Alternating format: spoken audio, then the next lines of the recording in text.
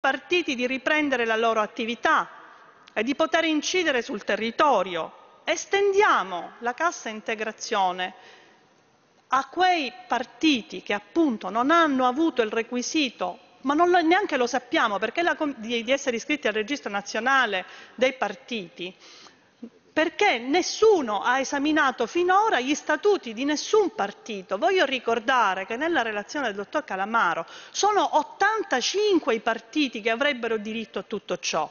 Allora, eh, io non credo che i lavoratori di nessuno possano pagare questo prezzo e credo che questo Parlamento, come è stato detto da tanti, ha il dovere di correggere quello che non ha funzionato e solo in questo senso si muove lo spirito di questa proposta di legge.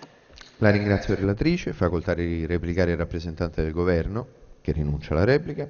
Il seguito del dibattito è rinviato ad altra parte della seduta, cioè alla seduta pomeridiana. L'ordine del giorno reca la discussione di disegni di legge di ratifica numero 2620 3056 3155 3085 3157. Avverto che lo schema recante la ripartizione dei tempi tali disegni di legge è pubblicato in calcio al resoconto stenografico della seduta del 5 agosto. Passiamo dunque alla discussione del disegno di legge di ratifica già approvato dal Senato 2620, ratifica ed esecuzione del trattato di estradizione tra Repubblica Italiana e Repubblica Popolare Cinese fatto a Roma il 7 ottobre 2010. Dichiara aperta la discussione sulle linee generali, avverto la Commissione Affari Esteri si intende autorizzata da riferire oralmente, facoltà di intervenire il relatore onorevole Marzini. Marazziti.